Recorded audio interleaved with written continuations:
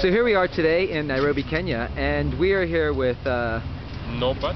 and Norbert is part of Kenya Data Networks. Yes. And we're here to know more about this building behind you. Norbert, could you tell us something about it? Now, right behind us we have uh, a G4S uh, delivery van. Basically, uh, the project that we have here is basically a wireless workstation. Yeah? Which uh, basically uses uh, uh, computers. Right? It uses uh, a WiMAX uh, radio from KDN Mhm. that connects uh, to, to the network such that when uh, anything is keyed in in this station here, it can be gotten real time in the headquarters such that there is no wires or cables attached to anything. Yeah, because you said it was a van, but if we look closely, there's nothing attached to this. In fact, there's nothing attached anywhere around this. This is just essentially a box on wheels with a WiMAX antenna sticking out the top, yeah? Yeah.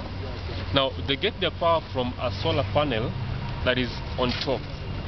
Now the computers and everything else is powered by a solar panel, uh, and then uh, uh, we have people working in there, and all the data is sent in to the headquarters.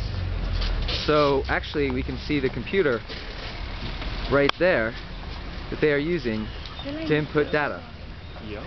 And soon someone will come to pick up all the boxes that the shipping company knows are here and they know where it's going, right? So this is pretty interesting. It's a self-contained uh, little office for the shipping company. Yes. It's basically fully uh, contained. You don't require anything to work from here. Just uh, the box itself, that's the way Right. you, Wayne has put it, and the computer, Uh-huh. and uh, all the connections that are done using no wire at all or no cable. So it's a self-contained shipping center in a self-contained shipping box. Yes.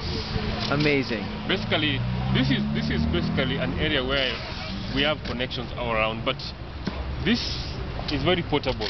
It can be used anywhere in Kenya because as long as we have the computers that are powered using the solar Mhm. and we have a wireless uh, uh, WiMAX connection, that is what we need. Great. Seems like from here I could ship myself back to the States. Thank you. Maybe.